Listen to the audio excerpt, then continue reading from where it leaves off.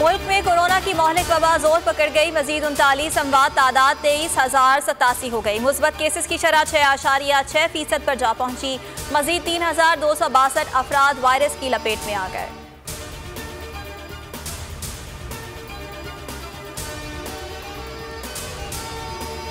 سندھ میں delta virus کی شرح میں خوفناک، حد تک اضافہ، کراچی میں مثبت کیسز کی شرح تیئیس فیصد تک جا پہنچی۔ اسپتالوں میں جگہ کم پڑنے لگی۔ صوبے بھر میں بارہ گھنٹے کے لاک ڈاؤن پر عمل درامت جاری۔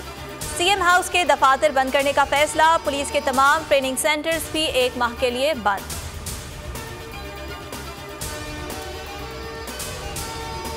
آزاد کشمیر الیکشن میں شکست، نواز شریف برہم، مریم نواز سمیت لیگی رہنماؤں سے رابطہ، ہار کی وجوہات معلوم کی لیگی رہنماؤں نے شکست کی وجہ حکومت کی بدترین دھاندلی قرار دے دی، مریم نواز نے کہا، منظم منصوبہ بندی سے ہرایا گیا۔ راجہ فاروق حیدر بولے، دس بجے تک نون لیگ جیت رہی تھی، پھر نتائج روک لیے گئے۔ اگر دھاندلی ہوئی ہے تو عوام کے سامنے بے نقاب کیا جائے۔ نواز شریف کی ہدایت، نون لیگ کے سینئر رہنما آج اہم نیوز کانفرنس کریں گے۔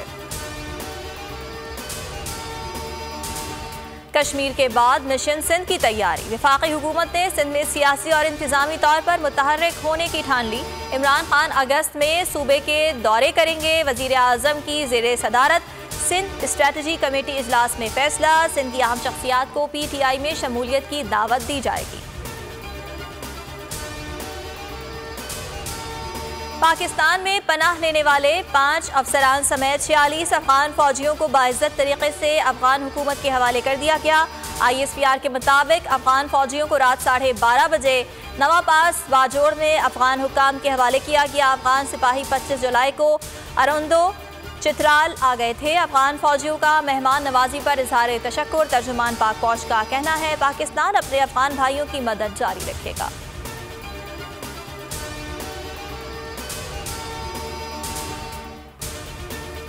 امریکہ کا افغانستان کے بعد عراق سے بھی فوجی مشن ختم کرنے کا فیصلہ۔ وائٹ ہاؤس میں ملاقات کے دوران امریکی صدر اور عراقی وزیر اعظم کے درمیان معاہدہ طے پا گیا۔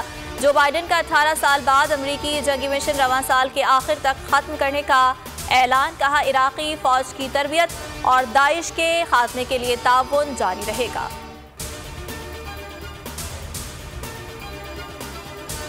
سعودی وزیر خارجہ فیصل بن فرحان السعود آج پاکستان کا دورہ کریں گے۔ سینئر سعودی حکام کا وقت بھی ہمراہ ہوگا۔ دورے کے دوران سعودی وزیر خارجہ پاکستانی ہم منصب شاہ محمود قریشی اور دیگر عالی حکام سے ملاقاتیں کریں گے۔ باہمی تعلقات، علاقائی اور عالمی معاملات پر تبادلہ خیال کیا جائے گا۔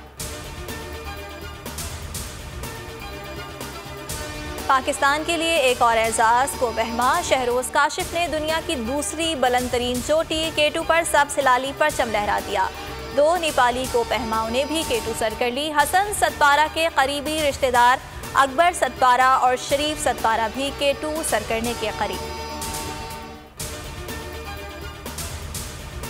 اور گلشن اقبال صدر اور بہادر آباد سمیت کراچی کے مختلف علاقوں میں ہلکی بارش، محکمہ موسمیات کی آج کراچی، ٹھٹھا اور تھر پارکر میں بھی مزید بارش کی پیش گوئی۔ اسلام آباد، بالائی پنجاب، بالائی خیبر، پختونخوا اور کشمیر میں تیز ہواؤں اور گرج چمک کے ساتھ بارش کا امکان۔